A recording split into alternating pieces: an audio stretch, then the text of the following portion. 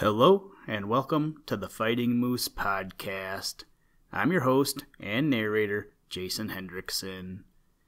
This is a podcast where I retell stories, some fictional and some historical, that can be enjoyed by people of all ages. Today, we head to Greece and get into some mythology with the story Orpheus and Eurydice from the book Old Greek Stories Told Anew, written by Josephine Preston Peabody. This actually comes from a request from John. The other day, he asked me, Dad, what are you going to do for the next podcast? I said, I don't know. What should I do? He said, You should do the one about Orpheus or Theseus, the guy who played the harp and defeated the sirens. I remember something about this story, but I had to do a Google search just to confirm. After my search, I confirmed that in fact it was Orpheus. So I found this story, and it brings in some of the Greek characters we have talked about already, i.e., Sisyphus and Tantalus. If you want to hear the story about those guys, just look for the episode titled Sisyphus and Others. So, John, thanks for the suggestion. If you have a suggestion for the podcast or want to hear a story, let me know. I am always up for suggestions. Now, let's turn to today's story. I hope you enjoy. Let's begin. Liftoff. We have a liftoff.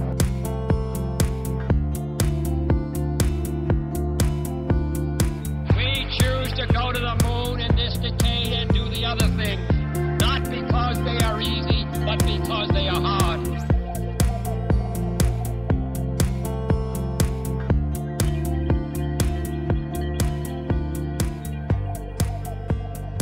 Orpheus and Eurydice.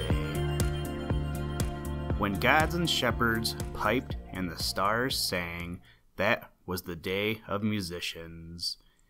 But the triumph of Phoebus Apollo himself was not so wonderful as the triumph of a mortal man who lived on earth, though some say that he came of divine lineage.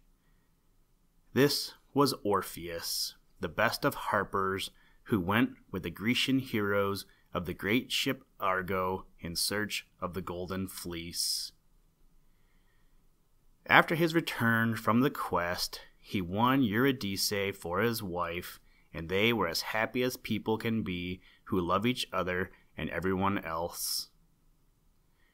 The very wild beasts loved them, and the trees clustered about their home as if they were watered with music. But even the gods themselves were not always free from sorrow, and one day misfortune came upon that harper Orpheus, whom all men loved to honor. Eurydice, his lovely wife, as she was wandering with the nymphs, unwittingly trod upon a serpent in the grass. Surely, if Orpheus had been with her, playing upon his lyre, no creature could have harmed her. But Orpheus came too late. She died of the sting and was lost to him in the underworld. For days he wandered from his home, singing the story of his loss and his despair to helpless passers by. His grief moved the very stones in the wilderness and roused a dumb distress in the hearts of savage beasts. Even the gods on Mount Olympus gave ear, but they held no power over the darkness of Hades. Wherever Orpheus wandered with his lyre, no one had the will to forbid him entrance, and at length he found unguarded that very cave that leads to the underworld where Pluto rules the spirits of the dead. He went down without fear. The fire in his living heart found him a way through the gloom of that place. He crossed the Styx, the black river that the gods name as their most sacred oath. Charon, the harsh old ferryman who takes the shades across, forgot to ask of him the coin that every soul must pay. For Orpheus sang, There in the underworld, the song of Apollo would not have moved the poor ghosts so much. It would have amazed them like a star far off that no one understands.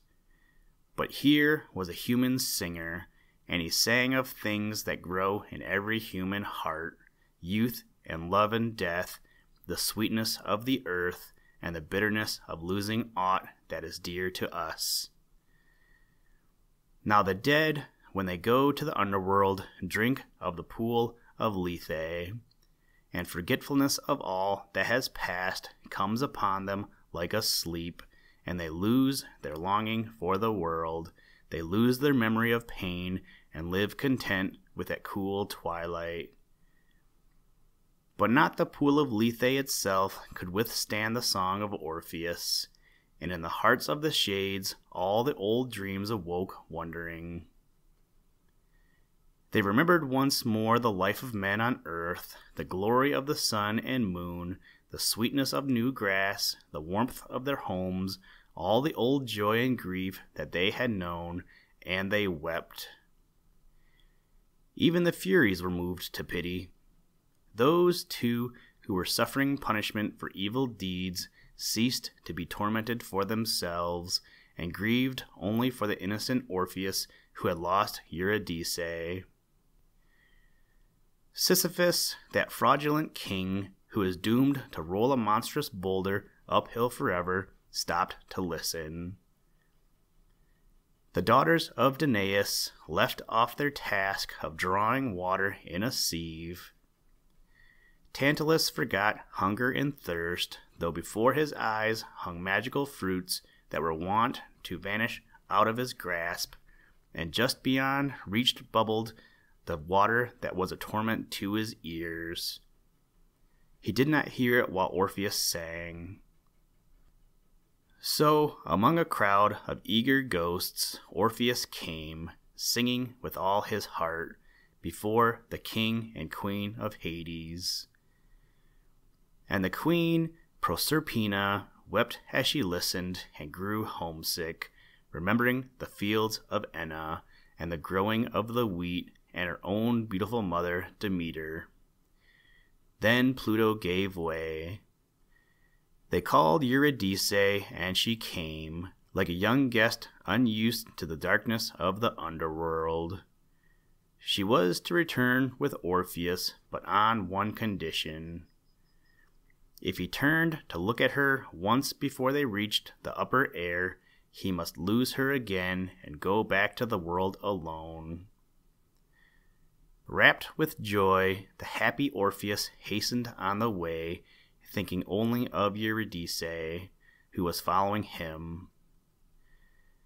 Past Lethe, across the Styx they went, he and his lovely wife, still silent as a shade.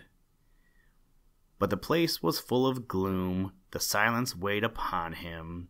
He had not seen her for so long her footsteps made no sound, and he could hardly believe the miracle, for Pluto seldom relents.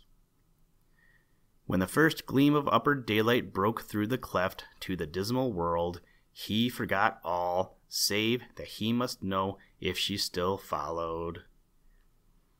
He turned to see her face, and the promise was broken. She smiled at him forgivingly, but it was too late. He stretched out his arms to take her, but she faded from them, as the bright snow that none may keep melts in our very hands. A murmur of farewell came to his ears, no more. She was gone. He would have followed, but Charon, now on guard, drove him back. Seven days he lingered there, between the worlds of life and death, but after the broken promise, Hades would not listen to his song. Back to the earth he wandered, though it was sweet to him no longer. He died young, singing to the last, and round about the place where his body rested, nightingales nested in the trees. His lyre was set among the stars, and he himself went down to join Eurydice unforbidden. those two had no need of Lethe, for their life on earth had been wholly fair, and now that they are together, they no longer own a sorrow.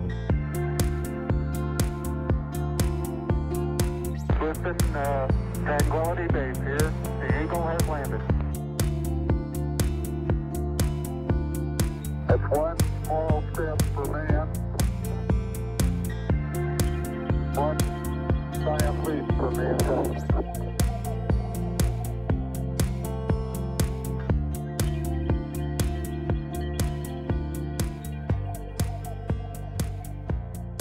Thank you for listening to this episode of the Fighting Moose Podcast. Please join us next time as we read another exciting story. Today's music was provided by the artist Analog by Nature, and the audio clips were provided from NASA.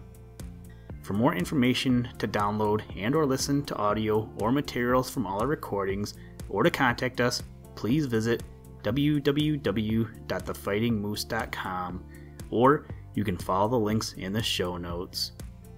If you enjoy the podcast, please leave us a review wherever you get your podcast or on iTunes and tell a friend. Thank you for your patronage, and as always, try and do a random act of kindness every day. Mission complete, Houston. After uh, serving the world for over 30 years, the space shuttle turned its place in history and it's come to a final stop.